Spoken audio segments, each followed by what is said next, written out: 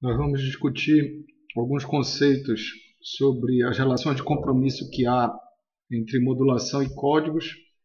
Nós vamos discutir alguns conceitos também bem básicos sobre teoria de informação, como capacidade do canal e entropia. E o slide foi preparado pela professora Catarina e adaptado por mim. Aldebaro Clautal, eu sou professor da Universidade Federal do Pará.